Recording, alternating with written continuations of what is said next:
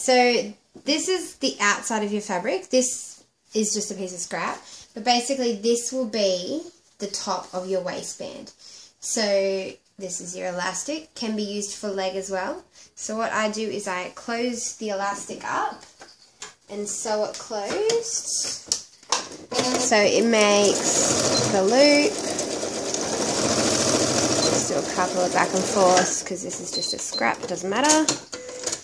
So you make your elastic the circle as if that's what's going in the casing. Then you get your fabric, turn your fabric the like inside out. So this is the top here of what your casing would be. Put the elastic over the casing and then put it over the arm of your sewing machine. Now all you're going to do is close the casing over the elastic. So this saves you having to iron the hem over and then sew the casing and then thread the elastic, then sew the elastic, then close the casing. This is a much easier and it's actually a much neater way as well because then you can make the casing the exact size that you need for your elastic. Saves so much time.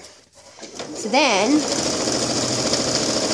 just sew around and as you do, make sure I use this finger to push the elastic up a bit and that finger just to make sure that the casing is nice and smooth and then you can use this finger here just to run along the edge of the elastic to make sure you're not actually sewing on the elastic. just go around,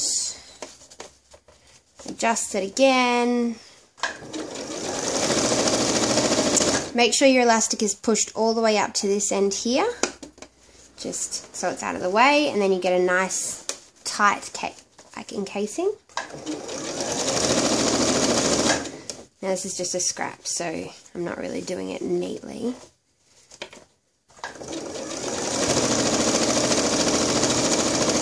Just use my finger to make sure that I'm not sewing over the elastic. And then when you get to this part, you need to pull your elastic out a little bit so it's not all bunched up.